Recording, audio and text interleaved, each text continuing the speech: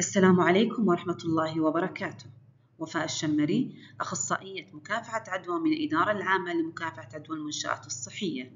محاضرتنا بتكون عن إجراءات مكافحة العدوى فيما يخص بإعادة الأغطية والمفارش في المغاسل داخل المنشآت الصحية. بداية جميع الأغطية والشراشف قد تكون من أسباب انتقال العدوى نتيجة لتلوثها بعدد كبير من الميكروبات. إمكانية انتقال العدوى للممارسين كعدوى مكتسبة من المنشآت الصحية تكون بإحدى الوسيلتين إما مباشرة عن طريق الشراشف والأغطية الملوثة أو تكون نتيجة لعدم التعامل الصحيح أو الجيد مع الأغطية والشراشف. يمكن أن يتم الغسيل داخل المنشأة أو يتم التعاقد مع مصدر خارجي.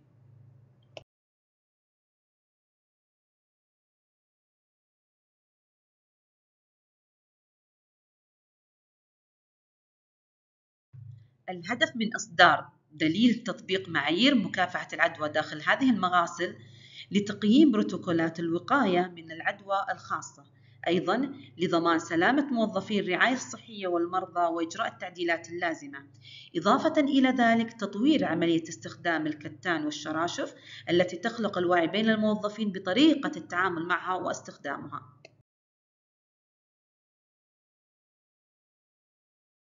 Laundry design هذه من المشاكل التي نواجهها كممارسين مكافحة عدوى في المنشآت أو في المستشفيات. هل هي متوافقة للاشتراطات الخاصة لمكافحة العدوى ودورنا هو السعي لجعلها متوافقة مع الاشتراطات حتى وإن تطلب الأمر تصعيدها.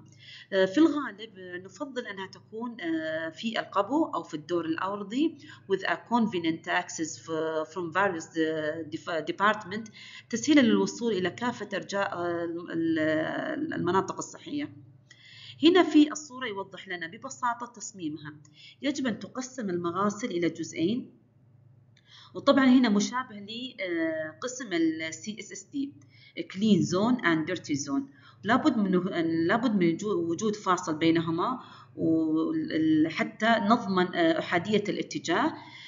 أيضا يكون فيها استقبال الأقمشة الملوثة أو الأغطية الملوثة ونتجه من جهة أخرى للغسالات. الغسالات لازم تكون double door لابد أيضا من الفصل التام من بين العاملين في المغسلة.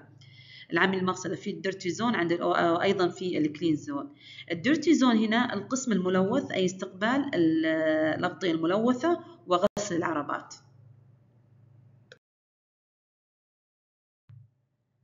ننتقل لبعض التعريف المتعارف والمتعامل عليها في داخل المغاسل ويعاد تكرارها في الغالب cleaning آه، آه، التنظيف. آه، طبعا هي إزالة الأوساخ المرئية والمواد العضوية الملتصقة سواء كانت بالأسطح أو الشراشف نطبق فيها good cleaning بإضافة بعض استخدام ال detergent عندنا contaminated التلوث contaminated laundry التلوث المغاسل دائما نحرص إنه يكون فيها ما تكون فيها أي أذية أو أي مخاطر مصحوبة في هذه المفارش.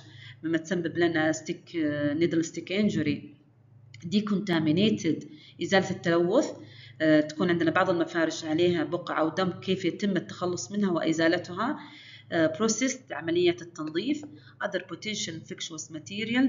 يعني التلوث ما راح يكون فقط عندنا في الدم لكن هناك بعض المصادر الأخرى.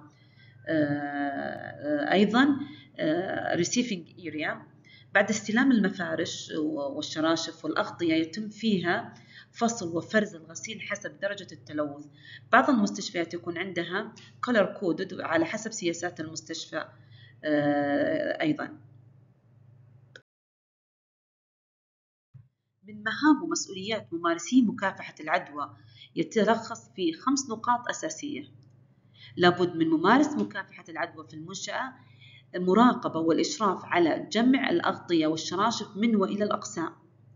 لابد أيضا أن أتأكد من كافة اشتراطات مكافحة عدوى العدوى داخل أقسام المغاسل المركزية للحد من انتقال العدوى.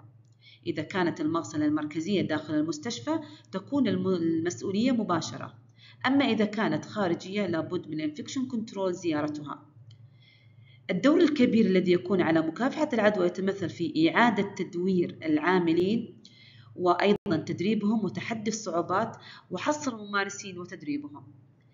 دور أساسي للمغاسل جزء لا يتجزأ من المنشأة الصحية ولا بد لل infection control ليكون لها دور أساسي فيها. هنا توضح المسؤولية الأساسية والالتزامات الخاصة بموظفي المغاسل. مسؤوليتهم الأساسية في جمع الغسيل والأغطية والشراشف. أيضا مسؤولية الفرز الغسيل واستلامه هي أيضا مسؤوليتهم. إعادة الغسيل النظيف إلى الأقسام أيضا مسؤولية موظفي المغاسل المركزية. من برنامج مكافحة العدوى في المنشأة للتدريب هو تدريب العاملين في المنشأة تدريبهم أيضا على تطبيق ممارسات مكافحة العدوى الصحيحة آه، نظافة الأيدي occupational health program and waste آه، disposal dealing with blood and body fluid spills ideal applications of housekeeping policy. التحكم بالتهوية ودرجة الحرارة. لابد أن تكون المنطقة الجافة تحت الضغط السالب درجة الرطوبة في المنطقة من 30 إلى 60 درجة مئوية. أيضا درجة حرارة الغرفة لابد أن تكون من 21 درجة مئوية إلى 24 درجة مئوية. من الضروري وجود مراوح تهوئة لتنظيف المكان وحمايته من الغبار حتى لا يسمح بدخوله مما يسبب تلف للأغطية والمفارش عندنا في هذا المكان. Transit Storage. التخزين المؤقت. التخزين المؤقت للأغطية والمفارش هي المنطقة التي يتم فيها تخزين الأغطية والمفارش أو الكتان الملوث لفترة قصيرة قبل نقله إلى الغسيل. يمكن أيضا أن نأخذ شكل مرفق أو مكان خاص للأغطية الملوثة في كل جناح مستشفى. أي أنه يخصصون في كل جناح غرفة خاصة لجمع الأغطية وتكون خاصة للأغطية الملوثة. يجب تخزين الكتان المتسخ أو الملوث في حاويات محكمة الغلق. جمعها بشكل منتظم والتنظيف يكون يومي. Transporting dirty and soiled linen to the laundry receiving area أي نقل الأغطية والمفارش الملوثة إلى منطقة الاستلام في المغاسل. يكون ذلك على جمعها أكثر من مرة يوميا. There should be a cart washing station أن تكون هناك محطة محطة خاصة لغسيل العربات. آه، طبعا هذه المحطة آه، تحتاج متطلبات خاصة آه، لمنطقة الغسيل أنها تكون ناعمة ومقاومة للماء وسهلة التنظيف ما تكون سهلة للانزلاق. hot and cold water outlets عندنا drainage to the floor. أيضا إنه نتكلم إلى منطقة منطقة التجفيف اليدوي للعربات أي غسلها بالمنولي الغسل المنولي. تكون هناك مساحة لحمل العربات النظيفة ونقلها للمناطق بعد الغسيل نقلها للمناطق آه، المناطق النظيفة.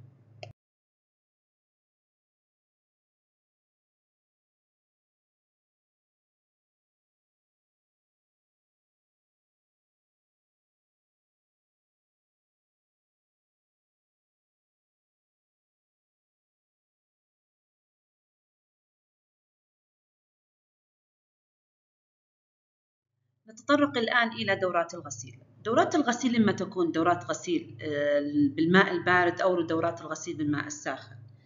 دورات غسيل الماء الساخن أغسلها بمنظف في الماء بدرجة حرارة 71 درجة مئوية لمدة 25 دقيقة. إذا أضفنا كمية مناسبة من مبيض الكلور إلى دورات إلى دورات درجات الحرارة المنخفضة يعني من 49 درجة مئوية إلى 60 درجة مئوية هذه توضح لنا أن الأقمشة تكون حساسة للحرارة. عادة ما يتم تحقيق إجمالي الكلور المتبقي المتاح من 50 إلى 150 ppm جزء في المليون خلال دورة التبييض هنا ينشط لي المبيض الكلور عند درجة حرارة درجة حرارة الماء 57 درجة مئوية إلى 62 درجة مئوية.